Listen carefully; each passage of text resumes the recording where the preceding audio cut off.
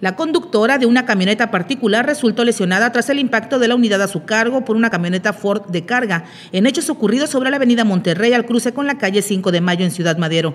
El accidente movilizó al lugar a paramédicos de la Cruz Roja de la zona sur y efectivos de la Delegación de Tránsito en este municipio. La causa del accidente, invasión de carril y falta de precaución.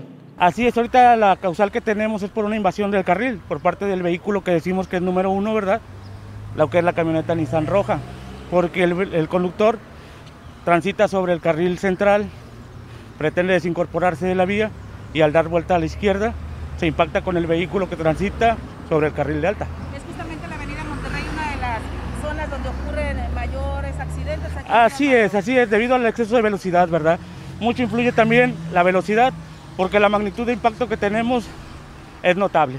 El percance ocurre ya que el conductor de la camioneta Nissan realiza una maniobra de vuelta a la izquierda sin tomar las precauciones necesarias, chocando en contra de la unidad Ford Escape y ante el fuerte impacto la conductora resulta con una lesión en el brazo izquierdo y otros golpes, accediendo a ser atendida en un hospital particular a través del servicio médico de los seguros de los vehículos. La disposición de tránsito en lo que realmente se arregla entre las compañías aseguradoras y se le elabora su sanción correspondiente. Últimamente los accidentes van en aumento. Exactamente, por, el, por lo que te comento, el exceso de velocidad, el estado de ebriedad, muchas causales influyen en estos hechos.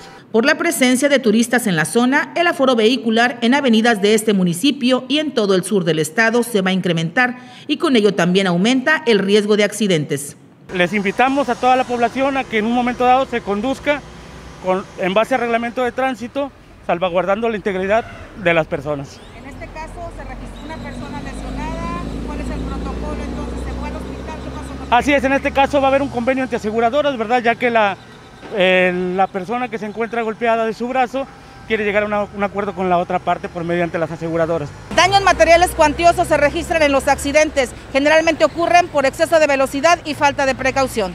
En el 10.1 encontraste la noticia.